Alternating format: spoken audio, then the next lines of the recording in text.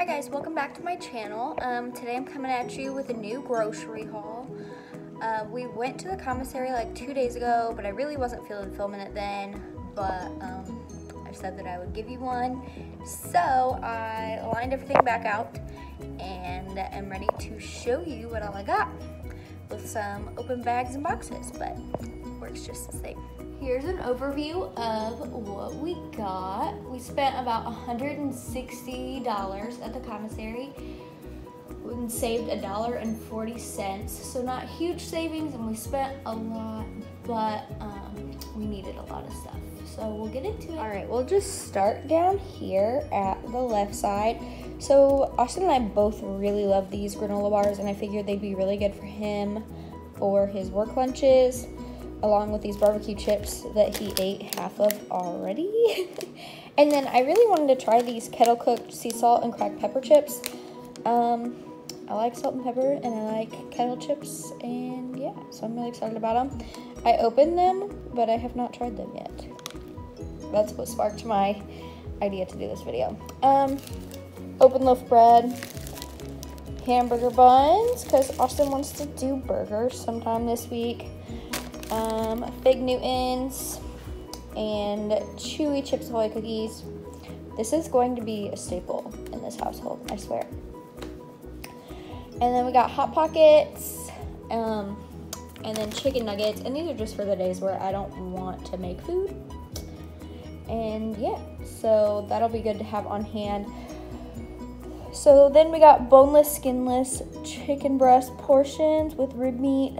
Um, they were out of like the normal whole chicken breast pieces again from the commissary and so these are just like big chunks of them um, which will do just the same. I want to make cracked chicken which is cream cheese and the dry ranch seasoning packet and so they work for that.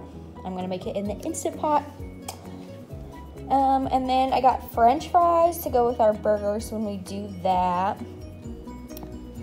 I got vanilla and chocolate ice cream. They had a lot more exciting flavors, but I couldn't decide, so I just went with something classic. We got frozen broccoli and carrots. Um, my husband doesn't eat too many vegetables, but I'm trying to get him to eat cooked broccoli. He's really picky about it, but we're trying to do some baby steps and then had to get some ranch because we were out. We have three pounds of 93% ground beef. Um, we're gonna do burgers, tacos, and I wanna do meatloaf. And then we got some Jimmy Dean regular sausage.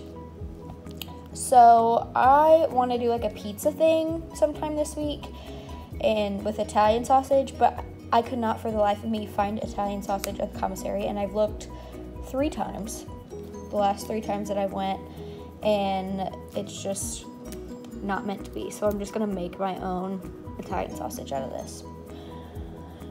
And then we have bacon for breakfast since Austin's home now to eat breakfast with me. And it's not just, it doesn't have to be cereal every day now. And we got a couple packs of cheese hot dogs Fun fact I refuse to eat um, regular hot dogs. It's either cheese dogs or turkey hot dogs. So that's what we got. Um, this is for my little pizza dish. It's gonna be in the Instant Pot. It's kind of like a pepperoni pizza, but like pasta. I don't know, I found it on the internet. It might be good, it might be gross. We have cooked ham and turkey for sandwiches again. Um, knockoff uh, Reese's Puff cereal, freaking delicious. Baby carrots, and then I already opened this today for my lunch, but we got fancy greens and spinach for a salad. I got two bell peppers. I already cut one up. I'm putting those in my salad just for a little something extra. I'm really missing uh, Subway salads or Woodworth salads from college, so I need a little extra besides my leaves. And then Austin's 1% milk and my almond milk. I do sometimes still use this for things like vanilla almond milk. You can't use to cook with it because it doesn't turn out good unless you're like baking something sweet. So this is a go-to still. Then we got Aunt Jemima pancakes. We already have syrup, but like I'm really craving some pancakes for whatever reason. I really wanted the protein pancakes, but I couldn't find those. So for now, this is what we're working with. I got this almond coco loco yogurt.